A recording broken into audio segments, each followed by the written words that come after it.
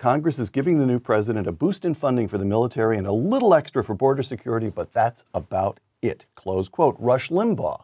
If I'm the Democrats, a modest increase in spending is a small price to pay for continuing to fund Planned Parenthood, continuing to fund the EPA, and not building the wall. The Democrats think this is a big win. Ann Coulter, final one. If this is the budget deal we get when Republicans control the House, the Senate, and the presidency, there's no point in ever voting for a Republican again. Close quote. Mick Mulvaney. I love walk- Ann. She's always so subtle. so.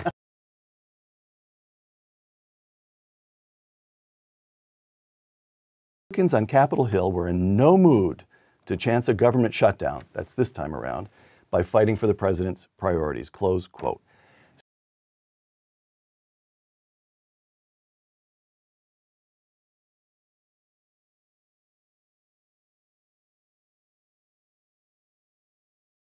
Yeah, they're used to it. It's it's become sort of uh, the new de facto way they run the, the Senate.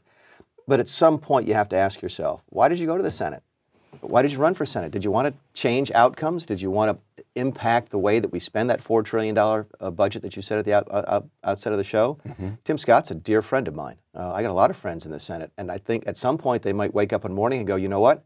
It might actually be nice to be a senator and to perform the function of a senator and do more than just confirm judges and fight over filibusters and maybe impact the power of the purse of the largest economy in the world, the largest government in the world. So um, it's, it's, it's, you got to hope that maybe they look around and say things have to change as well.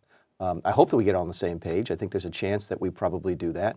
Um, there's no reason to get into a, an adversarial position when it comes to a shutdown. And hopefully everybody will come around to the plans of uh, the idea that things do need to change. Okay, I'm a Democrat. I'm listening very carefully, and it mm -hmm. sounds to me